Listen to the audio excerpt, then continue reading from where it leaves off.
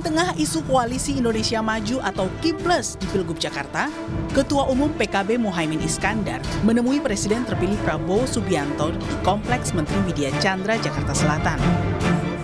Usai pertemuan, Prabowo bilang ia diundang ke Muktamar PKB. Sementara soal PKS yang diisukan juga akan gabung KIPLES, Prabowo menyebut akan menemui pimpinan PKS pada waktu yang tepat. Ya ini terus kita kita terus uh, uh, konsultasi komunikasi ya. Insya Allah dalam waktu yang tepat kita umumkan. Oke? Okay? berarti bakal fix gabungnya ya? Sama Aduh, tim terus apa ya? Ya kita kita terus komunikasi. Saya diundang uh, saya diundang muktamar PKB ya? Oke. Okay. terima kasih. Datang apa aja Pak? Ya Insya Allah Insya Allah hadir. Ya. Sinyal lebih terang keluar dari Caimin.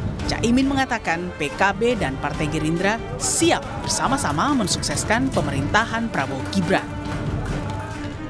Ya, Putusannya PKB dukung Anies atau enggak sih Gus kok jadi ya? ini membahas negara ini bukan pilkada saja. Berarti gabung Kimples Gus. Gabung Kimples enggak Gus? Gabung Kimples enggak Gus? gak Gus PKB. Kim plus itu apa? Kim plus apanya Kim Jong Il ini. Oke, ya, makasih ya. Negara itu maksudnya apa Gus? Pembahasan negara itu. Pembangunan yang akan datang yang harus kita lakukan bersama-sama. Intinya PKB Gerindra siap mensukseskan pemerintahan yang akan datang.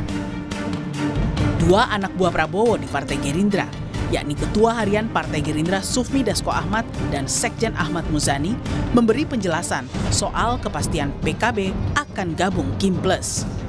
Berarti PKB Ya. udah fix masuk Kimples, nih, Kimples Bang. bang. Eh ya nanti ada waktunya kita akan umumkan.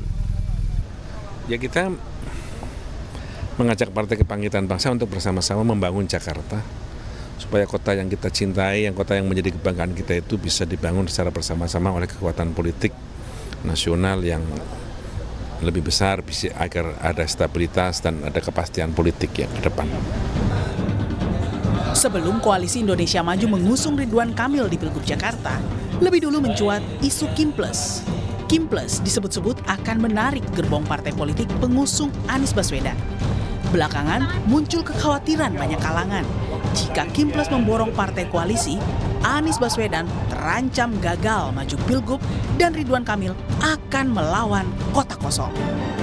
Tim Liputan Kompas TV.